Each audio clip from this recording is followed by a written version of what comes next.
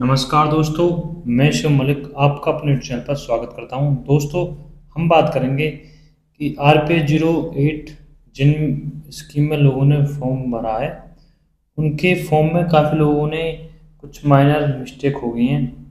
तो उनके काफ़ी डाउट थे कि क्या हम उन्हें करेक्ट कर सकते हैं आगे। तो मैं आपको बता दूँ अथॉरिटी की तरफ़ से आपको पाँच से दस दिन का समय मिलेगा। वो जैसे ही वो अथॉरिटी की वेबसाइट पर वो एक अलॉटमेंट लिस्ट आती है, जिसमें टोटल अलॉटमेंट लिस्ट निकालते हैं।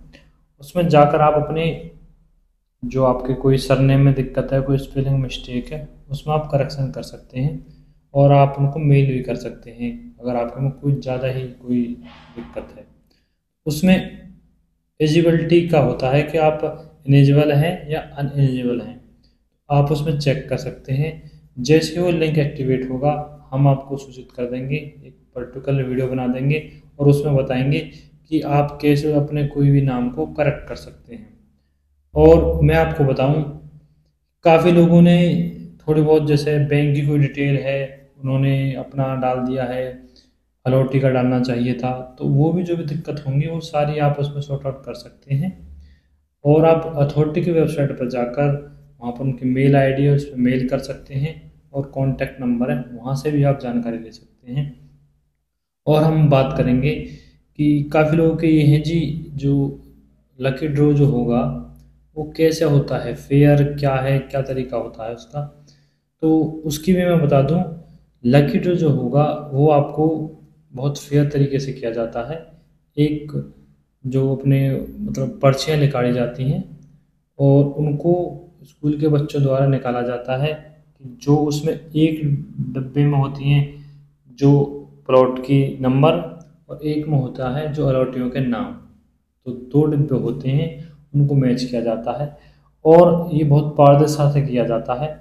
आप इसको लाइव देख सकते हैं, कुछ न्यूज़ चैनल हैं और हमारे यूट्यूब चैनल पर भी आपको यमन अथॉरिटी जब लकी ड्रॉ होगी तो उसको लाइव हम आपको दिखाएँगे। तो ऐसी कोई इसमें दिक्कत वाली बात नहीं है कि फेयर अनफेयर की बहुत ही अच्छे तरीके से होता है। और मैं आपको बता दूँ, इसमें आप खुद भी आकर देख सकते हैं। अगर आप कहीं दूर हैं, कोई तो काफ़ी लोगों ने बाहर से बहुत जो एनआरआई हैं या फिर कोई अदर स्टेट के लोग हैं तो वो आने में सक्षम ना हो। तो आप लाइव भी आप उसे देख सकते हैं इस ब्रॉडकास्ट को। हम आपको लिंक भी दे देंगे और हमारे चैनल पर भी आपको वो लाइव दिखाएँगे हम लकी ड्रॉ जो वहाँ पर होगा।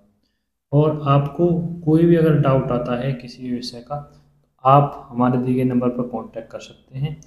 और आप जब भी उसका लिंक एक्टिवेट होता है करेक्शन का, अगर आपके में कोई त्रुटि हो गई है तो आप उसका ध्यान रखें और हम आपको अपडेट कर देंगे। आप अपने उस त्रुटि को सही कर लें।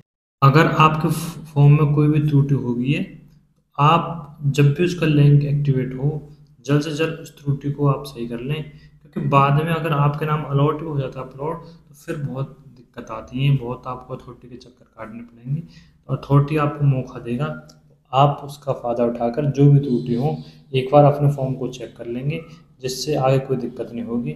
और हम कामना करते हैं कि आपका प्लॉट निकले, कि हर सबका सपना है कि जेवर एयरपोर्ट के पास हमारा एक आशियाना हो, जहाँ फ़िल्म सिटी भी है वेल डेवलप तरीके से उसे बसाया जाएगा।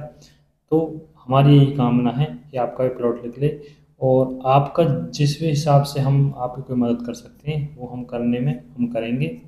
और मैं जैसे ही उसका लिंक एक्टिवेट होगा तो हम अपने चैनल पर अपडेट दे देंगे और आपको मैं समझा भी दूँगा कि आप कैसे कैसे वेबसाइट पर जाकर अपनी कोई भी त्रुटि को सॉर्ट आउट कर सकते हैं। ठीक है दोस्तों, हमारी वीडियो कैसी लगी, आप हमें कमेंट कर सकते हैं। और हम यमुना थोटे की नई नई जो भी जानकारी होंगी, वो आपको अवगत कराते रहेंगे। और अब मैं आगे की ये वीडियो लेके आएँगे, जिसमें हम बताएँगे कि आपका जब प्लॉट अलॉट हो जाएगा, उसके बाद आपका कितना एक्सपेंस होता है, कितना आपको खर्चा पड़ना पड़ता है लीज डेट कब मिलती है रजिस्ट्री कब होती है, कितनी स्टैम्प ड्यूटी होती है क्या क्या उसमें खर्चा होता है, उसके विषय में हम एक और वीडियो लेकर आएँगे, जिसमें हम आपके सारे जो भी डाउट होंगे आपके, कि हमें कहाँ पर, कितने टाइम में हमारा प्लॉट मिल जाएगा, कितनी लीज डेट कब मिलती है रजिस्ट्री कब होती है, वो सारे डाउट आपके क्लियर कर देंगे। अब हम आपसे विदा चाहते हैं। ठीक है दोस्तों।